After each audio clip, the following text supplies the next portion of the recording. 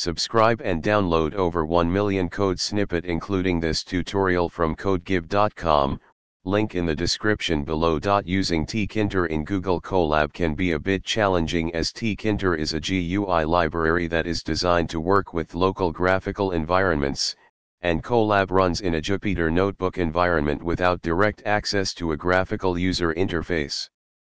However, there is a workaround to create simple graphical interfaces using tkinter in Google Colab by using the EasyGUI library, which provides an interface to tkinter dialogues.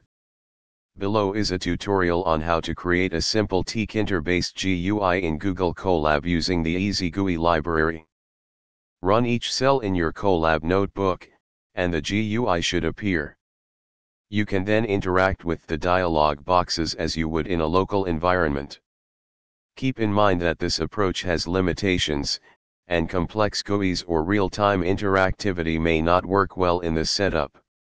For more advanced GUI applications, consider exploring other web-based GUI libraries like Dash or using tools specifically designed for Colab, such as google.colab.widgets. Remember that Google Colab is primarily designed for data analysis and machine learning tasks, so using it for GUI applications may not be the most suitable choice. However, for simple interactions or demonstrations, this workaround can be effective. ChatGPT